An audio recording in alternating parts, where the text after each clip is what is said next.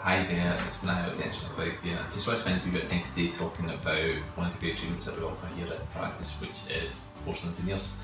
Veneers, if you don't know, are basically thin pieces of porcelain um, which are attached to the outer parts of our teeth. Um, it can be used to kind of treat a whole range of things. It can be used to lengthen our teeth, widen our teeth, um, widen our smile, um,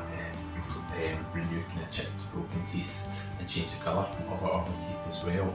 Very, very popular treatment, um,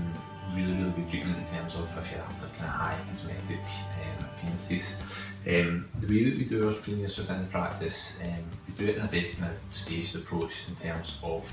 trying to let you know what you're, what you're going to achieve um, before we kind of get to the, the final final process. We do that we, when we first see you, do a full thorough assessment of your teeth, your bite, make sure that you're suitable first of all, and then kind of come up with a plan and design the veneers to, to, to fit around your mouth basically.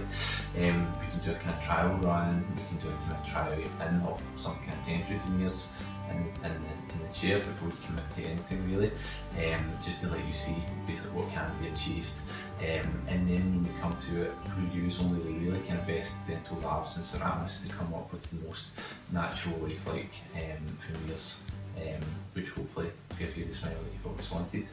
Um, if this is something you think you're interested in or want to find a wee bit more information about, feel free to contact us, see our smile advisor Lauren, she can talk you through a couple of options and then yeah, if you want to go ahead interested there, get you in for an assessment and see what we can do for you.